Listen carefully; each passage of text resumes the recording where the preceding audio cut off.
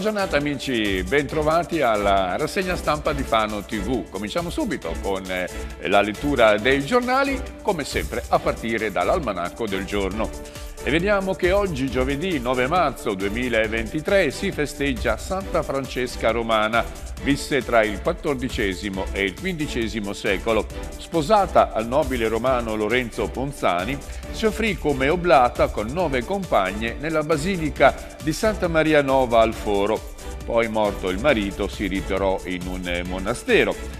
Ebbe il dono della profezia e mir miracolosamente ebbe un dialogo continuo con il suo angelo custode. Questa è un po' la prerogativa eh, di Santa Francesca Romana, quindi quando si pensa a questa santa si pensa anche all'angelo custode, un aspetto questo della religione che spesso viene trascurato. Vediamo anche le previsioni del tempo, eccole qua pubblicate sul Corriere Adriatico, questa è la grafica. Una situazione di tempo stabile e asciutto tra sole e nuvolosità irregolare. Le temperature sono piuttosto miti.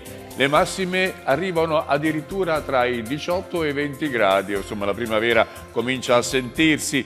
I venti sono moderati e tesi da sud-ovest da sud per quanto riguarda in modo particolare sulle coste e da ovest-sud-ovest per quanto riguarda l'interno, il mare leggermente mosso. E allora apriamo il... Eh, cosa apriamo questa mattina? Vediamo il resto del Carlino. Il resto del Carlino sulla pagina di Fano. Eccola qua, vediamo un'apertura inconsueta eh, oggi che il giornale ci presenta. Si tratta, uh, si prende anzi, diciamo così, l'occasione di quanto è avvenuto purtroppo quella tragedia di due aeroplani che si sono toccati mentre facevano delle evoluzioni in, eh, insieme ad altri, ad altri, velivoli, sono caduti e per fortuna non hanno causato danni eh, a quanto era eh, in terra. Ebbene, questo ha fatto ricordare al sacrificio di un pilota la cui figlia eh, ehm, lo ripropone sotto forma di uno spettacolo particolare, eh, insomma, che evidenzia come ci furono degli eroi sia nel passato che nel presente.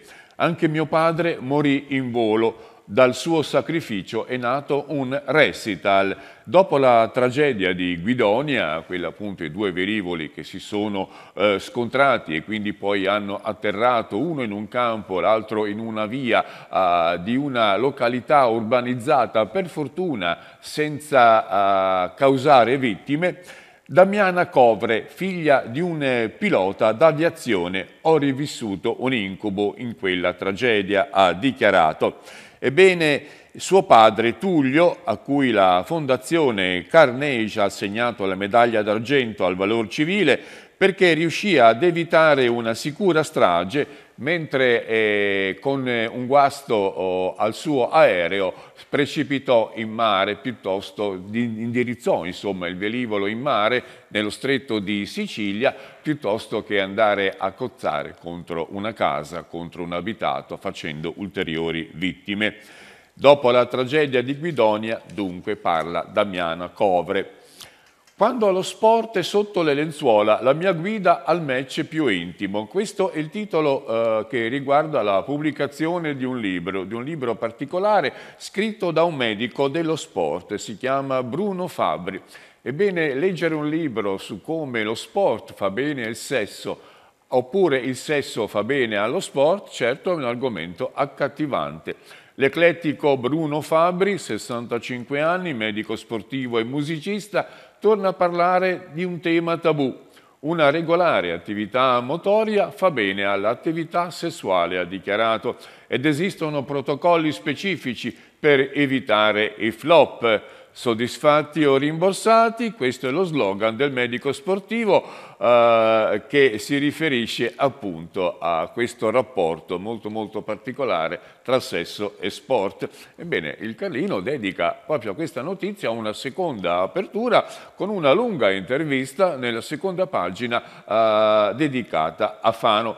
L'articolo di spalla invece riguarda una dichiarazione eh, del consigliere regionale Luca Serfilippi. Accelerare le diagnosi e migliorare l'assistenza sulle endometriosi, pronta una proposta di legge. È una risposta all'appello all che è stato lanciato nella, sempre nelle pagine del Resto del Carlino, nell'edizione di ieri, da una signora fanese che allestirà un banco per eh, così eh, attirare l'attenzione su questa malattia che purtroppo colpisce non poche donne ed è molto dolorosa. E poi si parla di zolfo, si parla di zolfo non dal punto di vista del diavolo, ma dal punto di vista delle miniere. In questo articolo a fondo pagina, sempre del resto del Carlino, l'epopea dei minatori di zolfo in un racconto di musica e immagini. Appuntamento domenica prossima alla fabbrica urbana in via Montevecchio a Fano con il gruppo Obelisco Nero e l'arte di Luca Caimmi. Ci sarà un concerto disegnato per tramandare la storia uh, dei minatori, i cosiddetti sepolti vivi nelle miniere di zolfo del nostro territorio, Cabernardi, abbiamo poi tutta la zona della Solfatara tra Marche e Romagna. Si intitola Pane allo zolfo, l'evento culturale transgenerazionale in programma per domenica alle 18, dicevo appunto la fabbrica urbana di via Montevecchio 57, l'obiettivo è quello di promuovere la conoscenza del patrimonio storico e culturale legato alle miniere di zolfo che esiste tra Marche e Romagna ed erano veramente tempi molto molto duri, una vita pericolosa, una vita anche che spesso si concludeva tragicamente per le malattie. Ed ora passiamo invece a Colli al Metauro, vediamo il titolo che si riferisce a una scuola di Saltara, la scuola Desi. Scuola Desi, sei anni di impassi, sono dei lavori che sono fermi, non, non, vengono eseguiti e questa struttura rimane inaccessibile appunto per lo scopo per cui è stata creata, ma il Comune non cerca le colpe. Bocciata la proposta di istituire un atto di indagine, sono aspetti tecnici che non riguardano il Consiglio.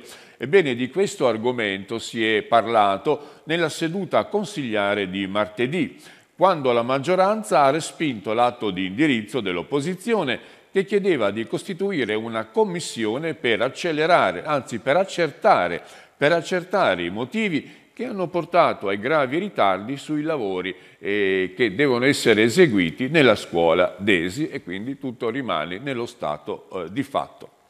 Un altro articolo riguarda il biodigestore, la grande manifestazione di circa mille, eh, con la partecipazione di mille persone che si è svolta nei giorni scorsi a Barchi. Biodigestore di Barchi, una guerra infinita. L'udienza di ieri al TAR delle Marche in merito ai ricorsi presentati dal comune di Terre Roveresche è durata oltre un'ora e mezza, ma per conoscere la sentenza il Tribunale amministrativo dovrà uh, attendere dai 30 ai 60 giorni e quindi ci saranno ancora uh, molti ritardi e in mezzo a questi ritardi proteste, dichiarazioni, illazioni e via, e via dicendo.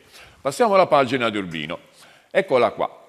La politica dice no all'uscita di Magalotti. Ebbene, l'intenzione del dottor Magalotti, un luminare eh, della sanità del nostro territorio, di abbandonare Pesaro, di abbandonare Urbino per andare a Fano, insomma, ha suscitato un vespaio di polemiche. C'è una forte preoccupazione per l'intenzione del noto medico, responsabile della senologia, di lasciare l'ospedale di Urbino. Eh, lui infatti è direttore dell'unità operativa complessa di senologia ed è specialista della chirurgia oncologica al seno, quindi un settore molto molto delicato ed importante per la salute delle donne.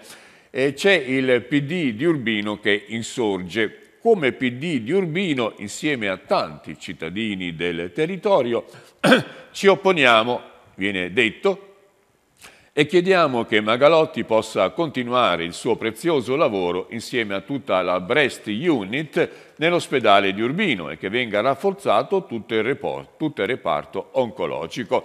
Comunque la Breast Unit non si tocca, l'assicurazione viene data dall'assessore alla sanità del comune di Urbino Elisabetta Foschi che rassicura Anche il capogruppo regionale della Commissione Sanità Baiocchi sta seguendo da vicino la vicenda. Speriamo che rimanga, è un po', è un po' eh, così l'invito e, e, anche il desiderio appunto di, di molte utenti dell'ospedale di Urbino.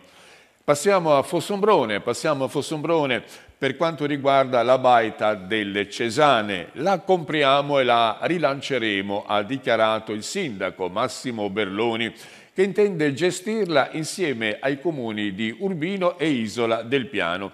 Una gestione dunque associata tra Fossombrone, Urbino e Isola del Piano e questa l'idea che frulla in testa al sindaco Berloni eh, per quanto riguarda il futuro della baita sulle Cesane per il quale il comune metaurense ha già sborsato una caparra pari al 10% della base d'asta di 160.000 euro.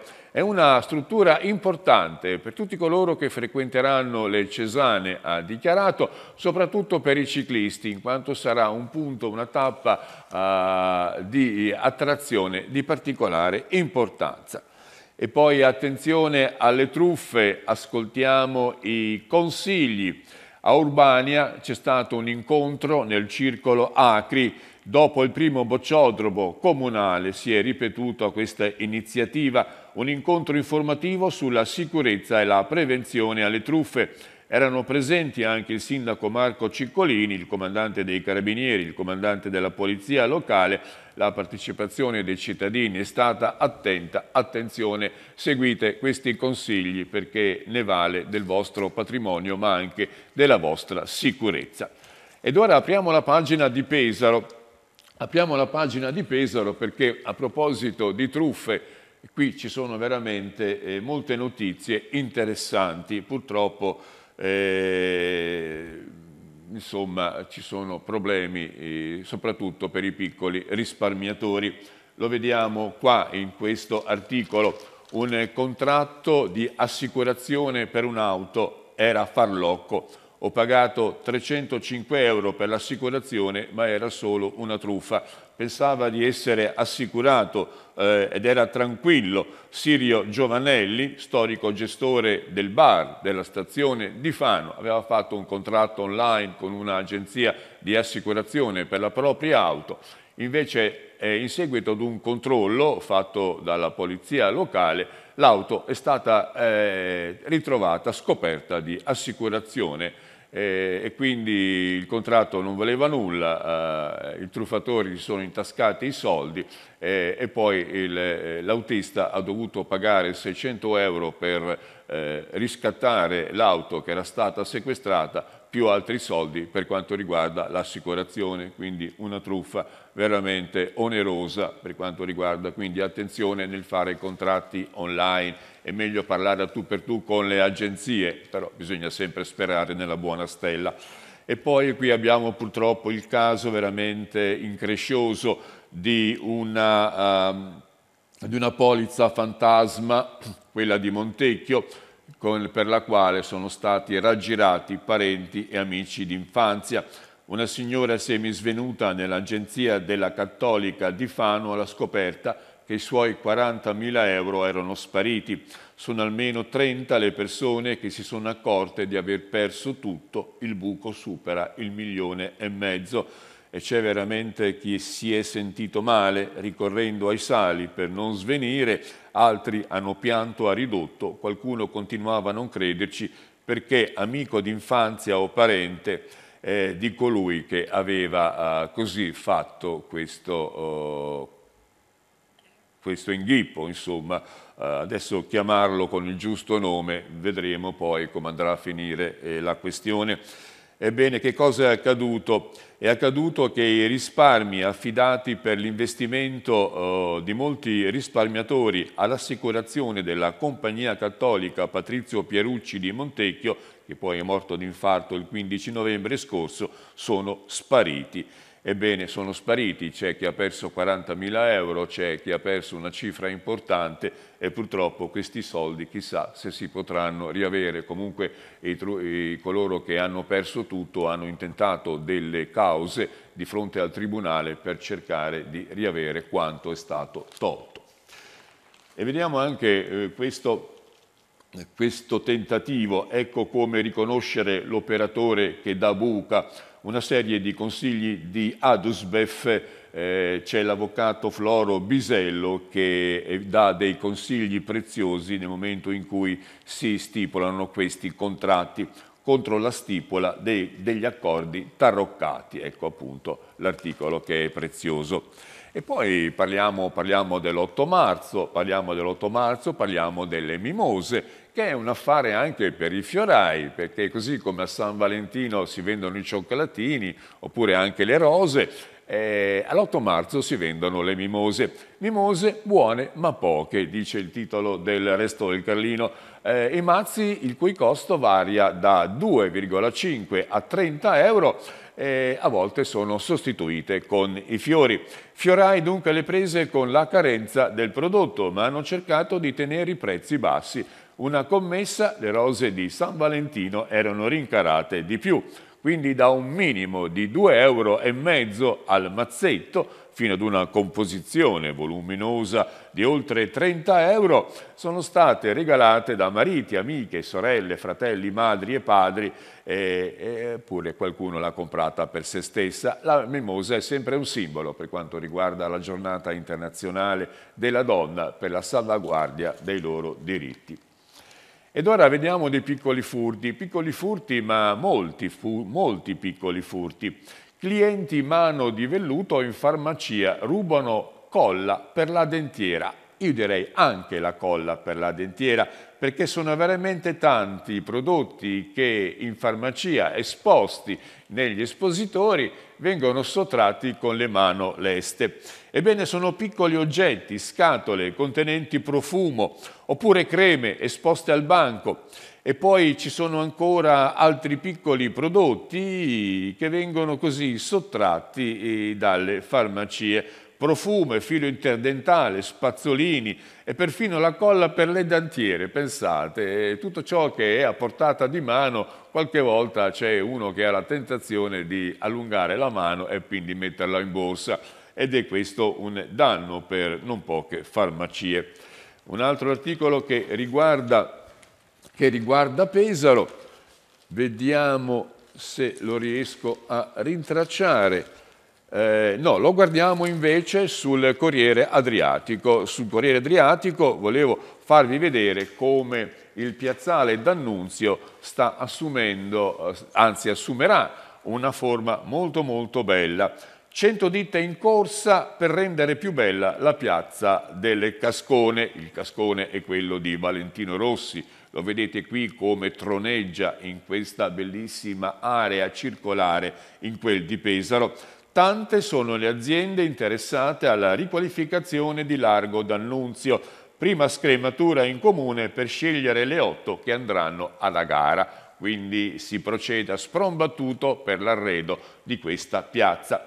E poi si parla ancora del mercato delle erbe, al comune spettano affitto e allestimenti, le richieste di Confesercenti, oggi l'assemblea sul trasferimento degli operatori che dovranno abbandonare eh, il chiostro eh, di San Domenico, la, pia la piazzetta del mercato, eh, dietro Piazza del Popolo per diverso tempo, perché poi i lavori si protrarranno assai, ma alla fine loro vogliono tornare in quel posto, ovviamente sarà un posto più bello, più riqualificato, anche dal punto di vista storico, perché quel chiostro risale al 1200.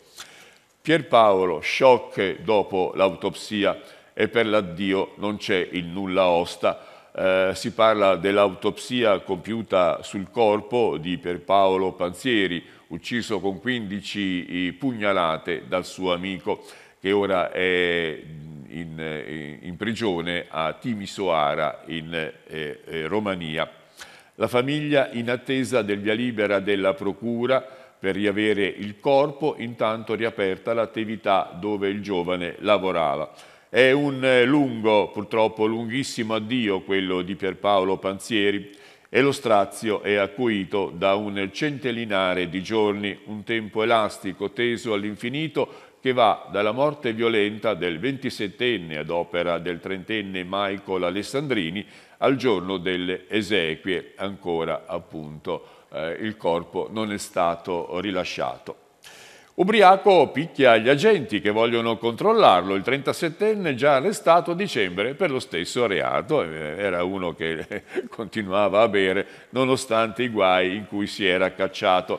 Vediamo anche la pagina di Fano, si parla delle reazioni per quanto riguarda la notizia che è stata data ieri sulla rinascita del casellino di Fenile, i cui tempi ormai sono stati definiti avremo una circonvallazione con i caselli di Fano e di Pesaro e questo caso diverrebbe sempre di più. Secondo Stefano Aguzzi e Francesco Baldelli, due assessori regionali, inutile la circonvallazione eh, definita con il completamento dell'interquartieri perché il casellino date le opere compensative che sono state già realizzate a Fano, costituirebbe una, uh, un imbocco sull'autostrada per andare a Pesaro e quindi poi rientrare nel casellino di Santa Veneranda.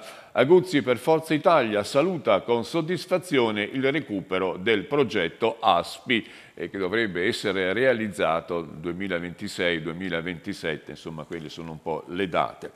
E poi abbiamo una reprimenda del sindaco per quanto riguarda il sindaco di Fano Massimo Seri per quanto riguarda il caso dello stacco della uh, fornitura dell'acqua al condominio di Bellocchi perché alcuni utenti non pagavano le bollette mentre altri sì. Ebbene, questo atteggiamento dell'ERAP è imperdonabile per il sindaco Massimo Seri. Non si possono punire degli inquilini che pagano regolarmente le bollette se richiama in causa la Regione per il distacco delle utenze idriche. Una simile gestione non è più tollerabile, ha dichiarato. È necessario prendere provvedimenti adeguati. Il sindaco è indignato per la situazione creatasi con il nuovo distacco dell'acqua potabile, il secondo in tre mesi, nei quattro condomini ERAP a Bellocchi. E si tira in causa anche la Regione Marche, perché la Regione Marche non ha ancora definito bene l'assetto dell'ERAP, il nuovo assetto dell'ERAP, e quindi poi questa situazione dei contatori deve essere stroncata, perché occorrono dei sottocontatori in modo che ciascuno paghi eh, eh, secondo i propri consumi e secondo le proprie possibilità. E poi abbiamo invece una bella notizia, il Santa Croce al Day Surgery, alta formazione chirurgica. Ebbene, la Santa Croce, la chirurgia al Santa Croce di Fano non solo è un reparto dove si eseguono interventi chirurgici programmati in regime di ricovero limitato con grande professionalità, ma è anche una sede di alta formazione chirurgica. Ebbene, all'interno dell'ospedale fanese, infatti, faranno formazione sul campo i chirurghi già specializzandi al quarto e quinto anno eh, per quanto riguarda gli specialisti in anestesia e rianimazione e gli infermieri che la scorsa settimana hanno terminato la prima fase del corso di alta formazione. Ebbene, è un'equipe di chirurghi che farà da insegnanti diretta dal primario o dal direttore del reparto Alberto Patriti. Poi ci sono anche qui gli altri medici, li vediamo Mirko Lucertini, Patriti, abbiamo Paolo Tescione ed Estefan Elias Fares, sono i medici appunto che, esi, che gestiscono il laboratorio, il Day Surgery, quel laboratorio oh, così con eh, operazioni che possono essere eseguite in giornata e quindi il paziente non rimane degente oltre le 24 ore, ma anche prima, insomma, 12 ore viene dimesso. A terre roveresche ancora si parla di digestore, sfida davanti al TAR, spunta l'ipotesi di una perizia. Nell'udienza di ieri due ricorsi di comune comitato con la risposta dell'azienda. Abbiamo visto l'articolo pubblicato anche dal resto del Carlino.